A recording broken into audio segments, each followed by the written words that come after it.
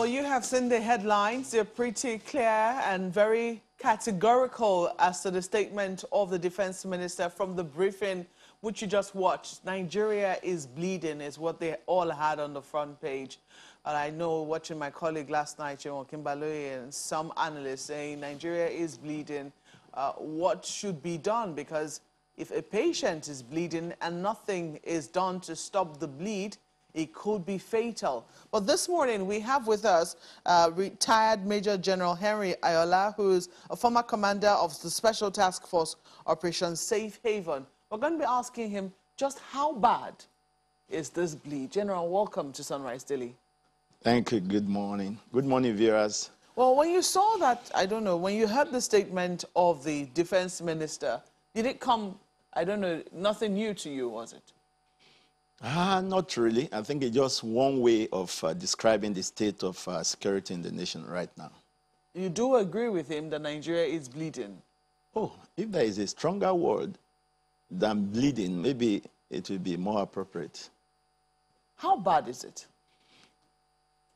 Um, well, I mean, at a point, I, I think I made this point on this platform before that it's like the whole hell is let loose upon Nigeria.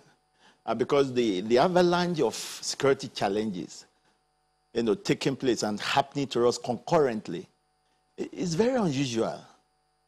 It's very, I mean, sometimes you have to pause and ask, I mean, could this be an expression of displeasure from the divine towards us, or could it be some self inflicted problems on our part? Or could it be having not paid the price initially, we are paying the price eventually?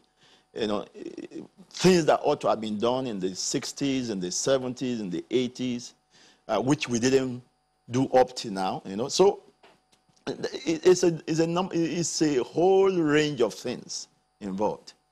So, of course, if you say Nigeria is bleeding, yeah, that, that's one good way of, the, you know, describing it. Mm. Yeah. From, from, you know, the different, uh, how will I put it now? Is, is it theories now that you have put out there? I, I, I imagine that when you sit, I mean, as somebody who has served meritoriously in the Nigerian military uh, for years, you know, when you try to analyze all of these issues, you also seem to be at a loss. Uh, but what do you find is your best explanation uh, for all that is going on, the simultaneous attacks that we seem to be experiencing on almost every front? Each one seems to be peculiar, or do you see a common thread running through, through it all? Yeah, like, like I said, if you look at, if we try to make a list, for example, the Boko Haram situation is there.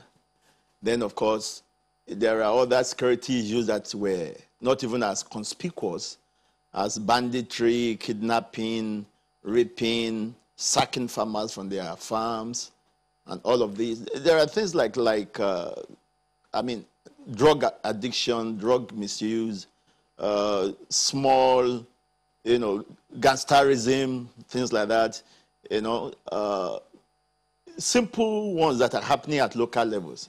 Okay, so uh, in crisis management, we, we are trained to find solutions. Uh, most of what we have seen is highlighting the problems.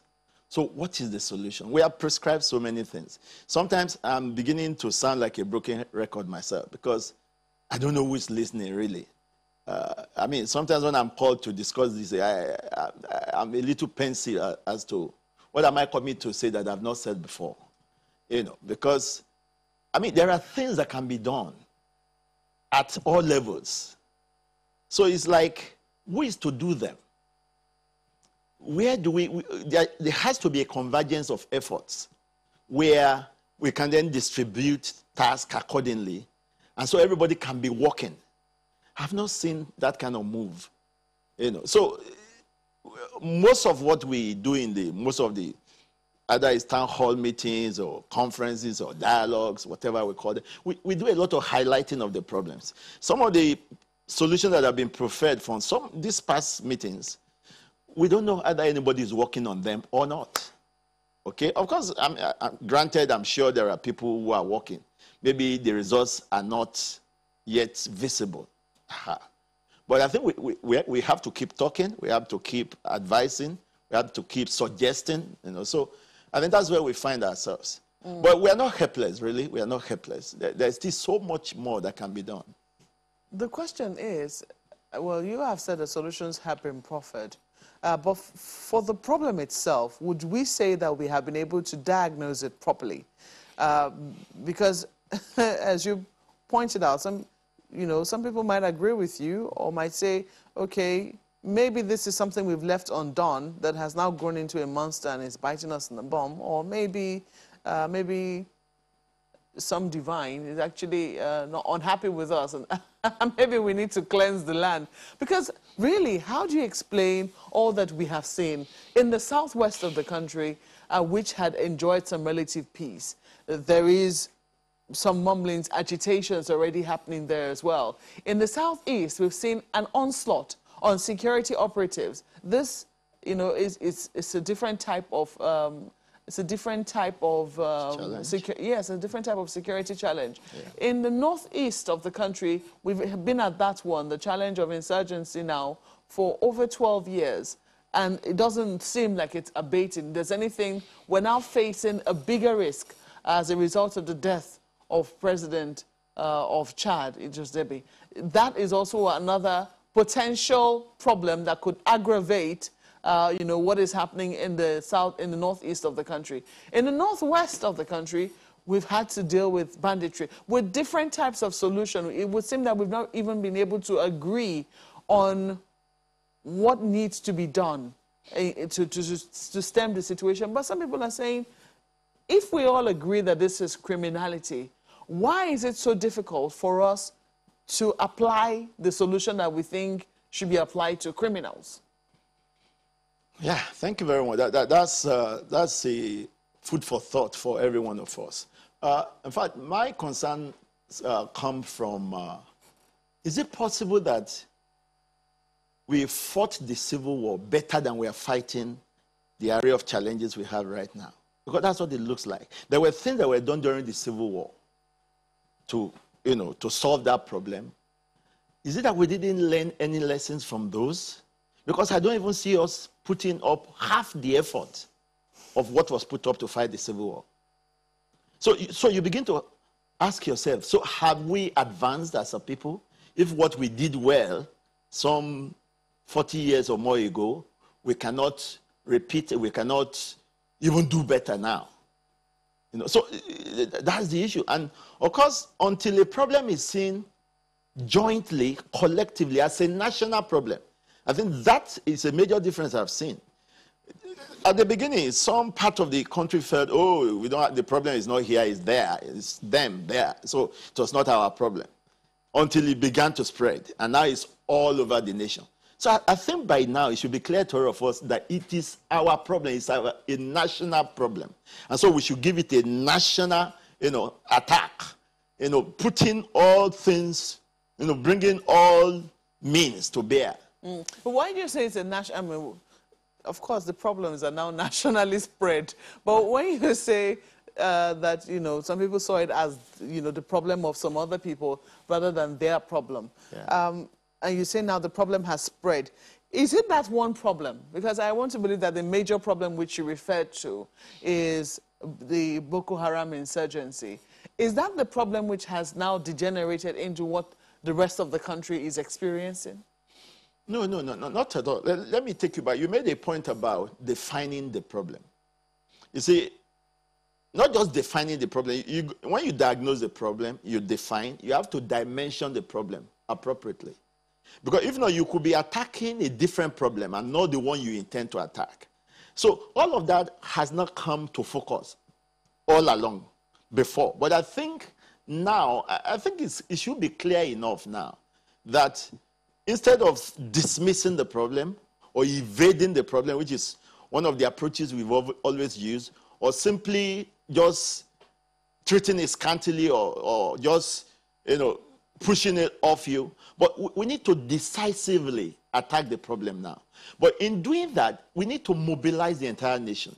We, we, we need to create a sense of urgency for everybody and bring all the agencies, include. I have always advocated an all stakeholder approach to solving problems. Nigerian is, we are all, we are all stakeholders in the, in the enterprise called Nigeria, and we all, we all have a stake in it. At the, at the, in the final analysis, we all be losers if this nation goes down. Either the apparent villains or the seeming you know, victims, we all be losers. So it, it calls for, from an all of society approach you know, for us to attack this problem. And that means everybody bringing on board what he has. I've said that again and again. But I've not seen actions that is bringing. Of course, I've seen meetings, town hall meetings, seminars, and all of that. And most of the time, the people in those seminars and meetings are not the actors. They are not the ones who are supposed to act on the, you know, the proposals that are coming out from those meetings. So again, you ask yourself, I was listening to the Minister of Information yesterday about the town hall meeting they, they had in Kaduna, and he was making the point that, yeah, he is planning to put it forward to the uh, Council of State and the Federal Executive Council and all that. Yeah, we, we need that. So that let it come to the table of those who need to act. So that it's not just individuals, communities, and uh, you know, as societies and organizations just preferring solutions, and they are not the ones to act on those solutions. Mm. So I think that will help us. That will help us. Perhaps maybe we should even set up a, a committee or a national committee that will garner all the solutions that are coming out. Look, there's hardly anything in Nigeria that has not been researched into at one time or the other. If you go to some of our shelves, there are fantastic reports of researches that have been done over the years concerning different challenges. Mm. So, I mean, NIPSS is there. They submit every year a paper to the presidency. They, they take a problem, a national problem, they do a whole lot of analysis, do study, and, and present a solution. So what are we doing with all that? What are we doing with the ones coming out of National Defense College, coming out from different institutions? So, so, so it's not lack of pro, uh, solutions that is our problem. Sometimes you, you, either we don't have sufficient will to tackle particular problems. Maybe for, for some other unknown, un, unstated reasons, you know. But the solutions are there. But General, you know, what you, even though yes, you, you have said you have said you have put forward your own solutions many times, and you also believe that the solutions already are there for those who seek answers. Um, I just for the benefit of our viewers and for those who might just be watching for the very first time, um, give us a sense of your concerns as to what could happen um, now that the president of Chad is dead and he's been succeeded by his son. Yeah, thank you very much uh, for the opportunity to talk on that. Uh, let me start by offering my condolences to the family of the uh, late president of Chad, to the government and the people of Chad, to, to the people of West, West Africa and Africa as a whole, because uh, we must give it to President, late President Deby. Uh, he was such a stabilizing uh, force within our sub-region, particularly within the Sahel, and West Africa in particular. And up to Central African Republic, of course, where he also had his uh, hand in some pie there. Um, mm, the, the implications are so far reaching. You see, when you have a strong leader like that, more often than not, it's at the expense of strong institutions.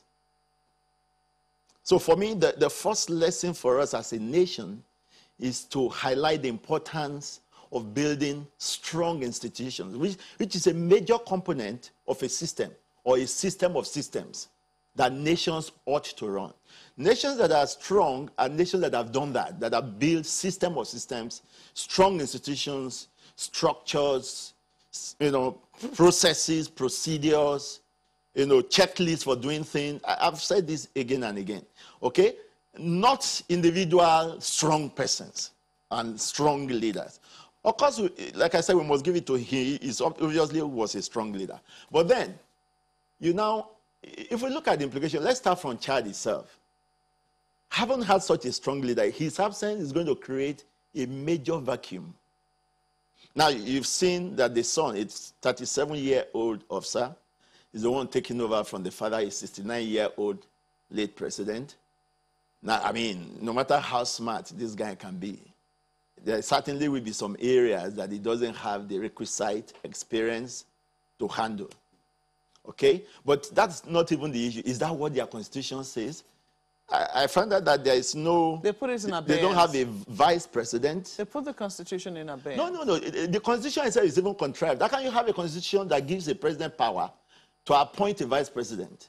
So if he refuses to appoint, then there's no vice president. And that's what has happened. You give a president, he has the power to appoint a vice president, so which he had not appointed. The Senate or the National Assembly had not been convened, had not been you know, inaugurated. So there's a serious vacuum, and that's why the, the military had to come in and put the son forward. So you can see the institution not being strong, not being there on ground. And that has created that, that, that vacuum. So again, so that tells you that it's going to engender a lot. And don't forget, he died in a battle against the, this people called FAC, FCCC, the Front for, uh, for Change and Concord in Chad, who are mercenaries leaving Libya to come back home. And because they've gotten used to power, they have so much armament and all that. They want to come back home in power. That, that's, that's the problem. And the same way he fought last year, between March, April last year, when he fought Boko Haram, drove them out of their territory back into Nigeria. Of course, I mean, I would say he's a soldier of soldiers, you know, who, and I think the spirit of that soldier or soldier had overtaken his, you know, you know, his uh, passion that he had to do it again. And this time it ended up this way. Uh, so, with these people coming back home and then knowing that the president who was destabilizing power, who was able to checkmate a lot of the security issues, issues the nation had been suffering, is now gone, they'll be emboldened to say, wow, this is a good chance for them. And that cuts across not just Chad. That takes us to, if we look at the Sahel, the whole of the Sahel, the G5, you know, Burkina Faso, Chad, Mali, uh, Niger, and uh, what the fifth one? Yeah, all of them. He, he, also was one of the strongest, you know, in that group. The same way, if we look at West Africa, the multinational joint task force, which we are championing, was moved to N'Djamena, you know, when this administration came in 2015. And that's because our president must have seen, uh, you know, President uh, Deby as a very good ally. And I, I, want to use this opportunity also to commiserate with our president. But you remember, he visited, uh, he visited our president about three weeks ago. And that shows that they have a good, uh, you know, rapport. And, uh, and uh, of course, he would have been a very good ally, even in fighting Boko Haram, you know, putting his efforts through the multinational joint task force and then working with our own troops on ground in the Northeast. Okay, so it's a great loss for us. But beyond that, now when we realize that most of the challenges we have relating to uh, banditry, uh, rebels coming from Libya, Mali, Chad, Niger, he was like a blocking force in reducing the infiltration of these uh, arms, small arms and light weapons, which we're already complaining about. Now, with him out of the scene, I, I, I, fear that there may be an increase of such movements. Because you see, once a strong person leaves like that, people get emboldened to start doing all kind of things they were not doing before. So we, we need to start thinking about that.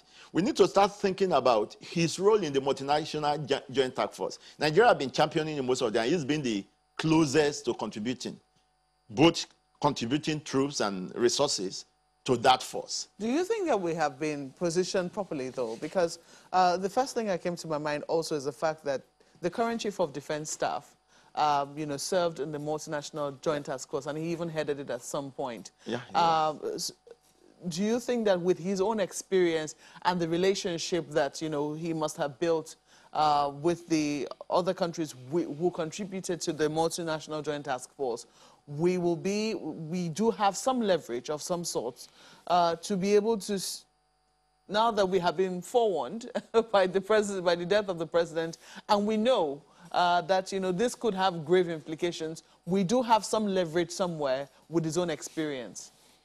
Yeah, we do. I mean, obviously at a, at a personal level, perhaps, uh, but you, you know, uh, the contribution of each country to, to the multinational joint effort is also a function of how strong that country is. Mm. What, how do they do with their own internal crisis? In fact, what is likely to happen, and it's a great possibility, that even Chad himself will become more inwardly drawn with the challenge that now they are going that to be facing. They cannot be throwing their weights all around the regions like they were doing before. You know, so so the tendency is that they're going to become inwardly drawn and focused and maybe withdraw some of their contributions from this other you know, multinational joint, joint task force, their contribution to the G5 in the Sahel and all of that. But it could also have implications for, I mean, if the country is not stable, that of, of course naturally has implications for us. The humanitarian, there could be an attendant oh, humanitarian of crisis. Of course. Um, is it something that we will be prepared for, considering just how in dire straits we are in that region as well? Yeah, just about a week ago, I was speaking on one platform, and I was referring to the uh, we used to have presidential committee on small arms and light weapons, which has been, uh, you know, in the process of turning it to a commission, okay? Uh, we should have been activated by now to start handling the issue of these weapons all over the place that are infiltrated. Now, if you now add the issue of refugees that are likely to spill over, we pray that it doesn't happen, that there will be stability within. Well, maybe with the military, in, you know, being there, they will be there for 18 months, like they said, to plan for the next elections. Maybe that will help. You know, I pray that it does, so that we don't have their, their own instability. Obviously, we touch on our own security uh, challenges. So uh, we hope that. But of course, it's important for us to start putting some contingency plan in place as to how to handle possible spillover of refugees from Chad to us increase the movement of small arms and light weapons. We, we have to put up some contingency plan for that immediately. You had the Senate um, intervention. I hate to interrupt your thoughts, but you yeah. had the Senate intervention. Uh, there are about 500 million uh, small yeah. and light weapons, and, and, of that figure, about 300 I, million of them actors are in yeah. Nigeria alone yeah. in the hands of non-state actors. Yeah. Uh, what did you make of that figure when you saw it, though? Yeah, well, you know, there are all kind of estimates. It, depends on which body, you know, gave that out. But, I mean, it's obvious, uh, unless somebody does a, a study, a, you know, a deliberate study.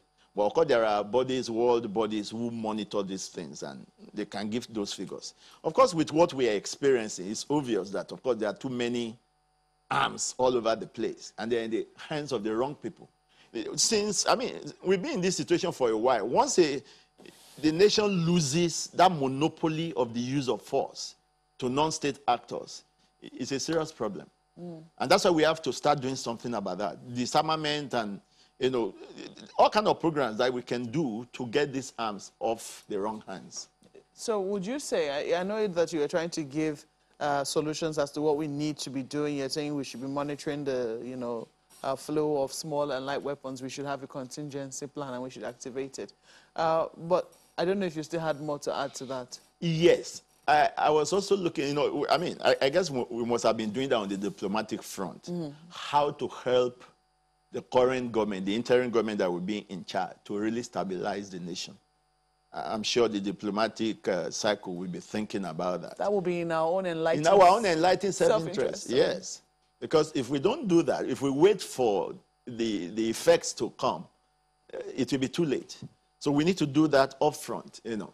And um, when you talked about disarmament, just quickly, a thought occurred to me as to what was happening in Zamfara, where when banditry bro broke out, the solutions uh, which we thought, because uh, if you also look, there have been disparity in terms of how to go about, you know, confronting these people. Uh, we saw that Zamfara adopted uh, you know, disarmament, so to speak, and compensation method. If you put cash for arm, cash exactly um, uh, solution. What are your thoughts on that? Uh, and do you think that, that is the way to go about disarmament?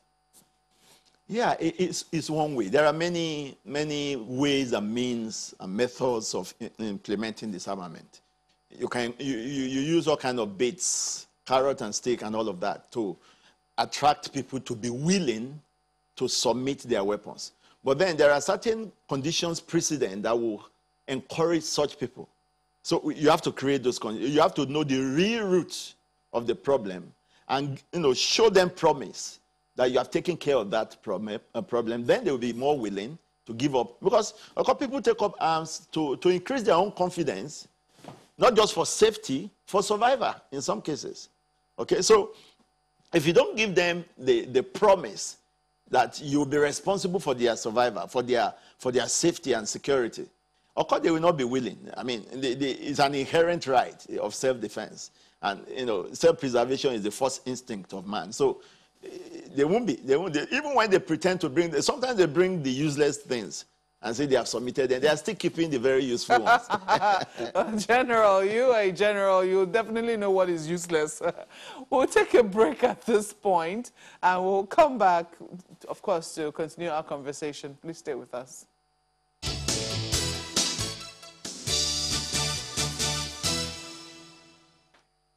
Well, retired Major General Henry Ayoola is still with us in the studio, and we're discussing matters pertaining to security. We'll not flip this to Lagos uh, for, my, for the questions of my colleagues. Gentlemen. Well, thank you very much, Mark. Uh, Major General, just staying on that uh, Chad situation for a bit, uh, there are a lot of countries that are a bit, you know, hesitant uh, I, I, hope you can hear me, General. There's some countries that are a bit hesitant on how to approach Chad in the light of you know recent events. Some are saying, well, we'll wait to watch. Some even call it a coup. But for Nigeria, we're neighbors, and I mean, we, we don't have that luxury. So if you could just maybe give some advice to the government, how do we approach the relationship with Chad now? Uh, we, I know the Borno State governor has you know, said that we should have more cooperations across the region. But now that this has happened, how should the Nigerian government approach the relationship with Chad? Yeah, thank you very much. Uh, uh, I had earlier mentioned this morning that, uh, that as part of a contingency plan of the country, we should be thinking of a diplomatic assistance kind of program with Chad uh, to help the interim government to stabilize the nation, uh, you know, preemptively so that uh, we don't have to suffer any spillover effect if uh, instability becomes the order of the day. So it should be part of it. It should be, uh, we, that also should bring to light the need to revisit our border security. Uh, we should put that in place also.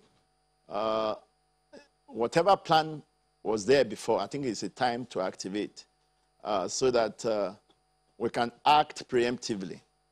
You know, I've, al I've, always wondered, uh, General, I mean, you have a lot of these things uh, happening in Nigeria blamed on uh, what's happening in Libya, what has happened in Libya. And I, I keep wondering, I mean, you have Tunisia, Algeria, Egypt, closely bordering Libya. Nigeria is like a country or two countries away from Libya, yet we feel that effect compared to Algeria, Egypt, and the rest, they don't have to fight, uh, you know, insecurity, insurgency on this scale, and they are closely bordered uh, by Libya. So, what are they maybe doing, or what is different, really? Yeah, you know, rebels, we naturally gravitate towards where they will be, they will have less resistance. It's a natural thing for them. Uh, I mean, number one, this uh, front for uh, change and concord of Chad, FCCC, they, they are majorly Libyans and majorly Chadians who went as mercenaries to Libya. And now that the, the UN has uh, you know, signed an agreement for all foreign military you know, groups to leave Libya, that's why they have decided to come back home. Okay? Now, of course, in coming back home, if they get resistance in Chad, they will think of what alternative nearby countries to go to. And with, with the condi uh, conditions precedent right now, eh, with, you know, prevalent within our own uh, territory, and the readiness of being able to either join forces with the whatever you know, faction of Boko Haram, and some of the uh, infiltration that are taking place already, you know, from across their own border to Nigeria. It will be certainly an attraction for them. And that's why we have to put some preemptive things in place now. Maybe we, apart from the diplomatic effort, the multinational joint task force also we need to, perhaps we need to expand their role in that direction to help to be a blocking force uh, for such a movement from Chad towards Nigeria. Well, Thank you very talking much. About, talk, talking about uh, those preemptive measures, General, I recall earlier when you were speaking, you said there were some things we left undone that maybe if we had done them, uh, we'll probably not be in such quagmire as we are right now. Um, if you don't mind, could you, you know, maybe give us some um, some some ex, uh, specifics? Because in the course of speaking, you said that we needed to build system of systems. The challenge in my head is systems are built by people and run by people. Now, we still have those systems. Who is going to build these systems? Who is going to run these systems in a way that we will not find ourselves where we are right now in another 20 years or 60 years from now? Because somehow we got here. We have to get out of this, out of where we are now, and then how do we ensure we don't get back there? Yeah, thank you very much, Ayo. I think you are bringing me to one point that uh, we have often uh, not spoken strongly about. I think it boils down to what I call the, the classical conspiracy of the elite, the elite class itself. And when I say the elite, I'm talking of the whole gamut of the elite, the political elite, the educated elite, the technocrats. I think we all need to come to a point where we agree that, look, so far we've been living in denial. So far we, have been, we, we, we've not had the common good and the national interest in our hearts in, in, in, making many of the policies, even the crafting of systems that we're talking about. Let's take, for example, in other climes, when, let's take just one example of uh, improvement of the take-home benefits of political office holders. Okay, I, I've seen in some country, if a president is going to increase the benefits of a president, he, as the sitting president, who is doing it, will not be a beneficiary of it. Now, that's a smart way of crafting a, a, you know, a, a law, not to make it something that will be based on self-interest. It means once the president knows that he is not going to benefit, so he will think again if he knows that he's not a beneficiary of what he's trying to put in place. But in our case, we make such laws and the sitting person who is making is the first to benefit from it. So th these are deliberate things. And uh, you can't run systems that way. A system must be run to, to plug loopholes. But more often than not, we exploit the loopholes in our systems. You know, we, rather than plugging in, rather than studying, reviewing the existing and perfecting it so that the system can run better, we simply exploit those loopholes to our personal benefits. Do you want to give examples of, of situations where that has you know, backfired? Oh, very well, very well. I'm just giving the example of uh, uh, you know benefits. Uh, let, us let, look at the way we run some of our institutions, like my own sector, for example. Mm -hmm. I think we're all still suffering from what I call the you know the KBAC mentality, where we don't we don't want you know, we don't want to be constrained. We want to do what we like, how we like, when we like, and if we like. You know, so you, you find if I'm in an office, uh, I don't want to offend so, so many people. No, please go the ahead. examples I mean, in my head. Mm. Let, us take, for example, a, a, a given office where you get there and you discover that the existing standard operating procedures of that office are not helping the system. But they, they help the man who is sitting on that seat because that gives him a field day. You know, he, he has ambient, I mean, ample opportunity to maneuver and manipulate the system. And so nobody touches to fine tune how that office is run. Because everyone that comes say, oh, it gives me, I can operate like an emperor here with, with this, you know, leverage. Not, not sufficient rules to, you know, to, to put some limits of an exercise of power in place. Okay? And so I, I, stay there and I run my own tenure, and the next person comes. And because it's to the benefit of whoever is sitting on that seat, it will not touch it. But, but everybody else around them, you know, know that this is affecting us adversely. Yeah, but they're not in the position to, to change it. And they're not in the position to craft that, that particular system there. Is that in that, any way, That's what General? has been happening most of our, our things. That's why we are still where we are. But General, most of the time, it's not that the person sitting on that seat doesn't know that the system there can be improved, but it's enjoying a near zero system that he met. But General, is that isn't that in some way putting a question mark on our recruitment process generally, from the leadership to the followership to the engine that runs government, which is the civil service?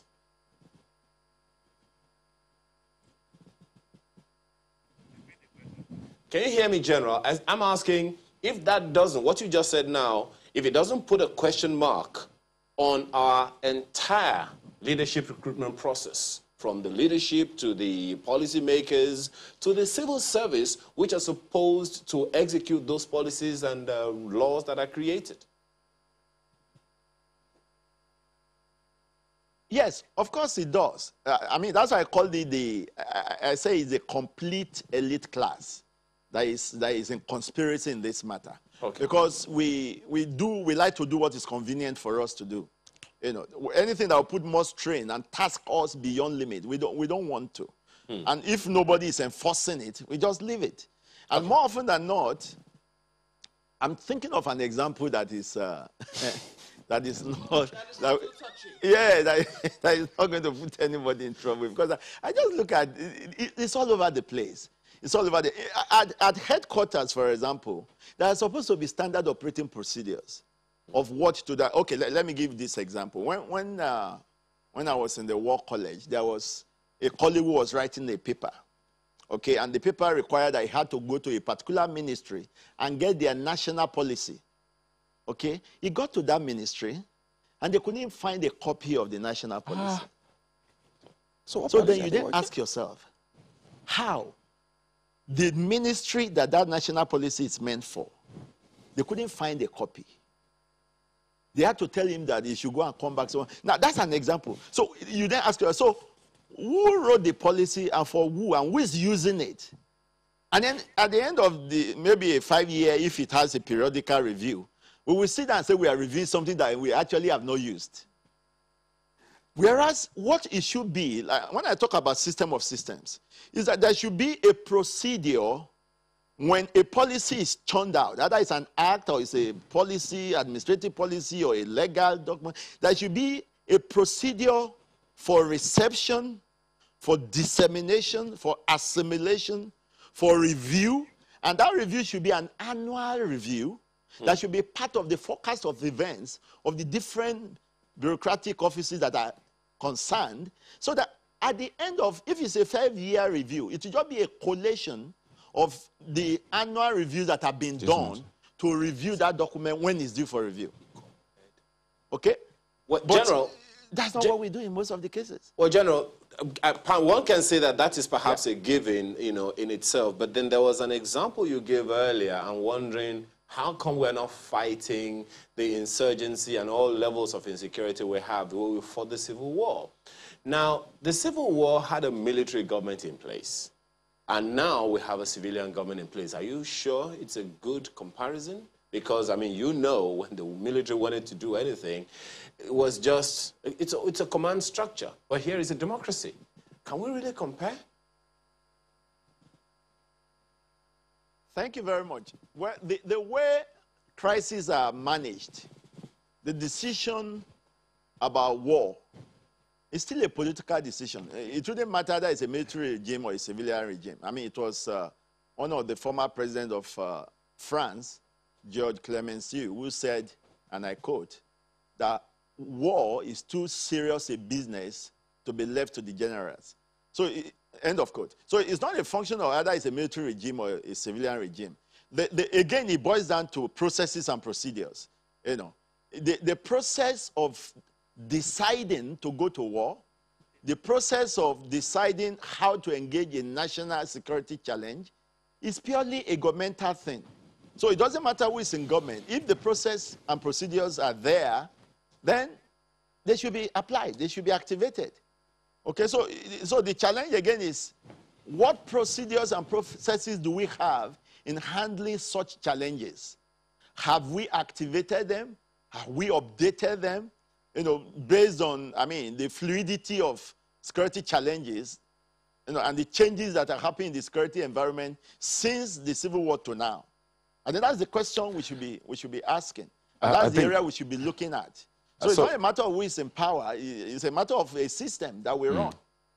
and I'd like to focus on that for a bit. I mean, you said that war is too serious a business, according to that quote, to leave it to just generals. And by inference, it will mean that we're not really losing this battle on the field. I mean, the loss started way before our men probably responded uh, to calls or attacks by the insurgents. So if we were to start fixing this the right way, because I think a lot of attention has been focused on the men, the men on the field and the rest, who should be championing this systems of system change? Because clearly if we don't sort it, then we'll keep recording the losses we see on the battlefield. Yeah, thank you very much. That's a good one.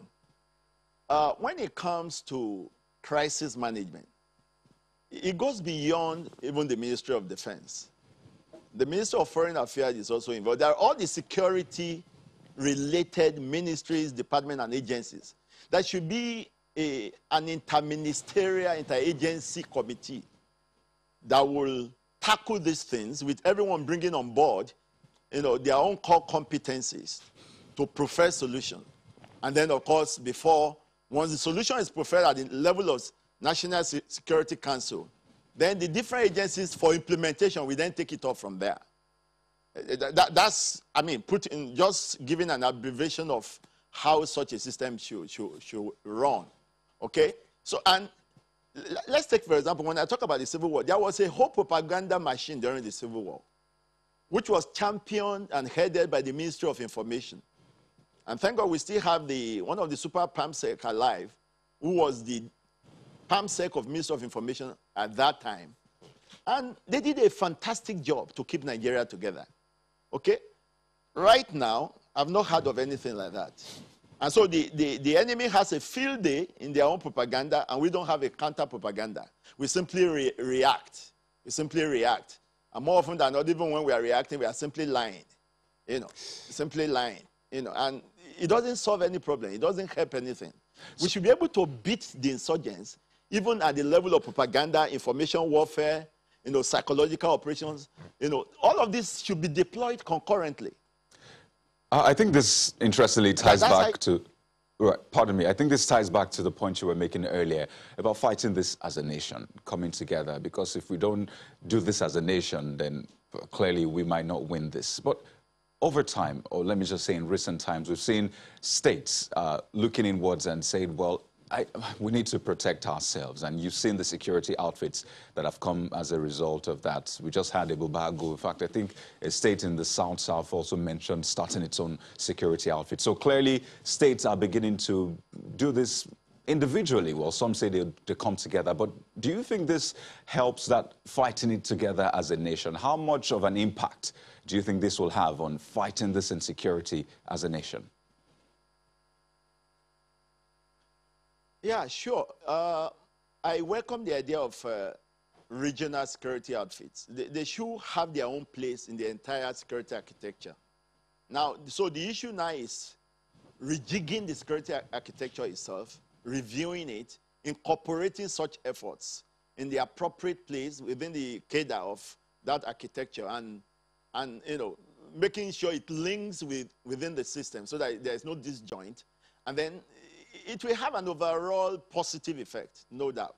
But if they just if these things arise on their own and they are not integrated into that security architecture and given the proper place to ensure that we can benefit from that effort not not uh, clandestinely stifling them but rather giving them a good space where the fitting and their own effort can complement the government's effort. I think it's a good idea, a great idea. General, uh, uh, yesterday the Benue State governor made some comments. Interestingly, uh, the, the Minister of Defense also made statements at, at, at, the State House, some of which we have on the front page. But for the Benue State governor, he believes that, uh, well, the, the government has been complacent or complicit, if you will say. He said the actions or inactions of the government has largely uh, been responsible for what we have seen. He mentioned whether you call them killer herdsmen, bandits, kidnappers, or whatever. He believes that the federal government at that level is complacent to a large extent. So I'd like you to listen to it just to put it in context and get your response uh, to what the governor of Benue said.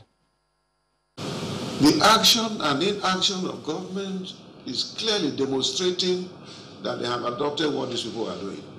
As far as I'm concerned, Boko Haram, Fulani herdsmen, ISWA, ISIS, all of them are working towards the same goal in Nigeria. Let nobody deceive me. Mm-hmm. So that is it. And as long as Nigerians do not take this serious, they started as herdsmen. Then now they are called one name bandit. Mm. But why are they not being declared terrorists despite all our previous pleading and appeals and begging?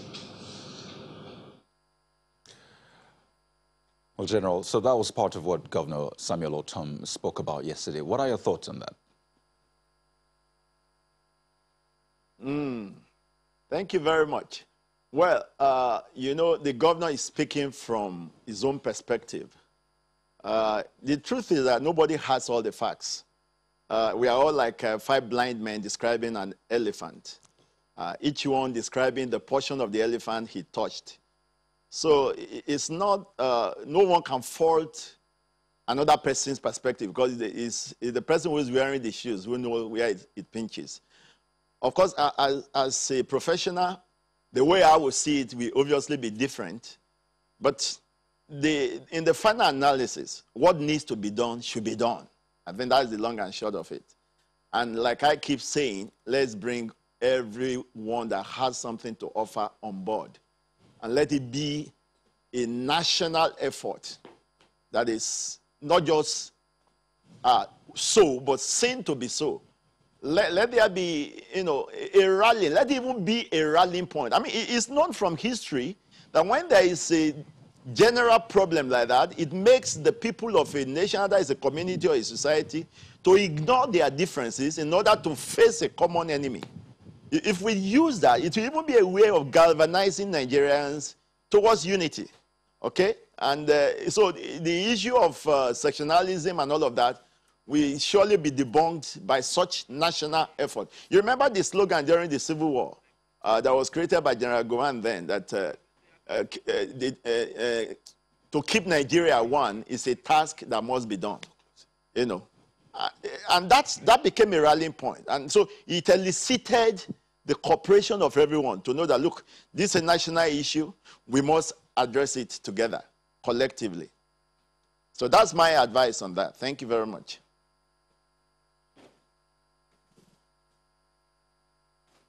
Well, General, I don't know if you ever saw this in terms of how, um, uh, in terms of the disparity, I mean, you just said that the, the point of the Benue State governor was making is his own, I mean, it's from his own perspective.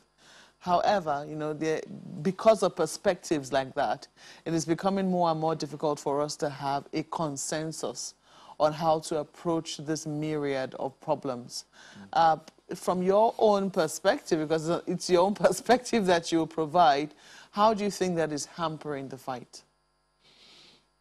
Yeah. Uh, thank you very much. It's obvious to everyone that we've not given this challenge our best shot yet. It's obvious. Of course, if we have, then, I mean, Boko Haram from 2009 to now, we should have uh, at least diminished their power to still hold ground or to still be able to fight. Let, let, let me touch on that a little because when you look at it, uh, I'm going to quote uh, one of my friends, is my namesake, Baron Antoine Henri de Jomini, in his Art of War. He wrote that the, for any nation, any nation, any government, to put its military, to, to disregard its military under any pretext, whatsoever is to prepare that military for disgrace and the nation for humility. Okay? When, I mean, like I said, the things that ought to have been done that have not been done. Because equipping your armed forces is not an overnight business. It's not a one-time thing. You, you plan a program to say, look, what kind of wars are we going to fight in the next 15 years?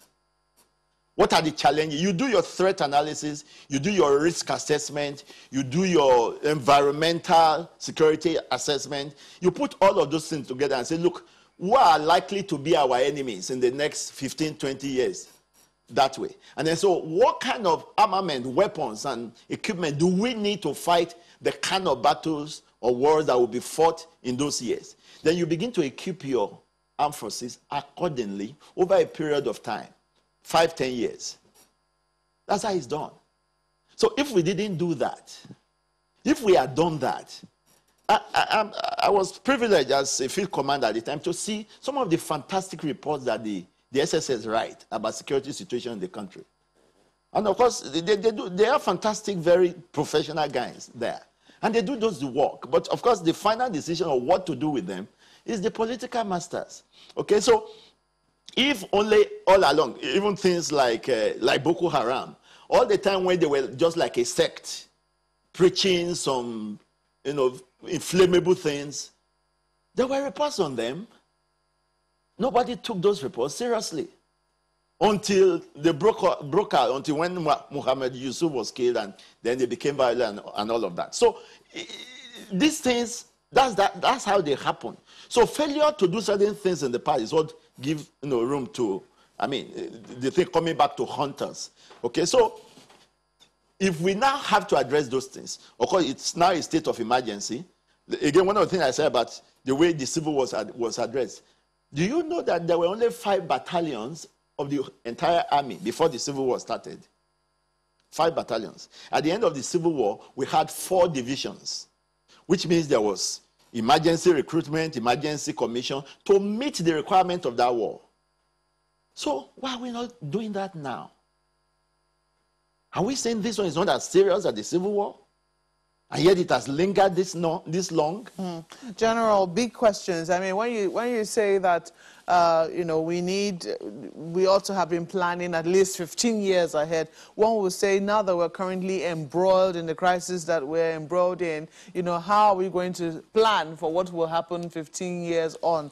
Big questions. But we have to thank you for always taking time out to speak to us uh, anytime you're called upon. And we hope that you won't get tired of speaking. it's a job that we have. Uh, thank you so much for coming on Sunrise Today this morning. Retired Major General Henry Ayoola as the former commander of Special Task Force Operation Safe Haven.